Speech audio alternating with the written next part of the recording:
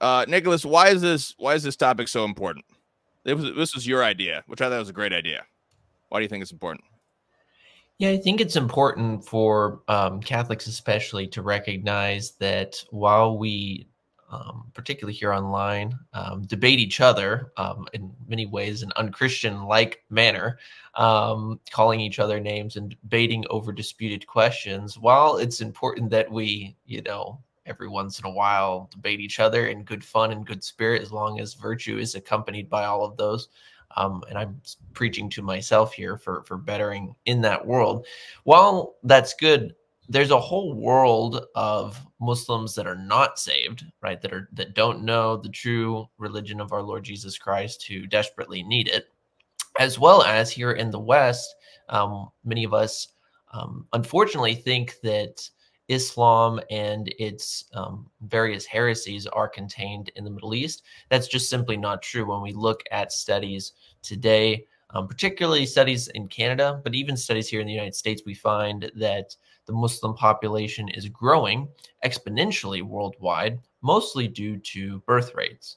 So much so that we see that here in the West, particularly nations like, again, Canada and the United States, if this birth rate continues as well as the rates of Christianity decline, as they have been for decades now, um, we will see by the year 2060 Muslim majority nations here in the West, including in Canada and possibly here in the United States, around 2060 or a little bit later.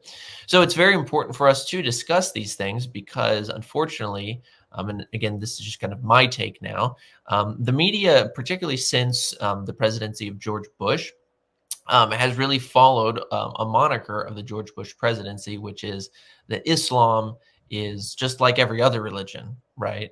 Um, and that it's a peaceful religion, that it is a religion of just normalcy, if you will, and so um, not to worry too much about it.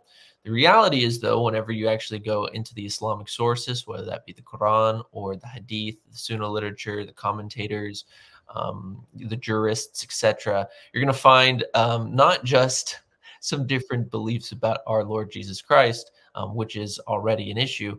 But of course, you're going to find um, the violent subjugation of non believers, the violent oppression of women, um, as well as, um, I would just say, pretty scandalous sexual teachings of Muhammad and his, especially the first three generations of followers. And so, unfortunately, this information is not well known to Catholics.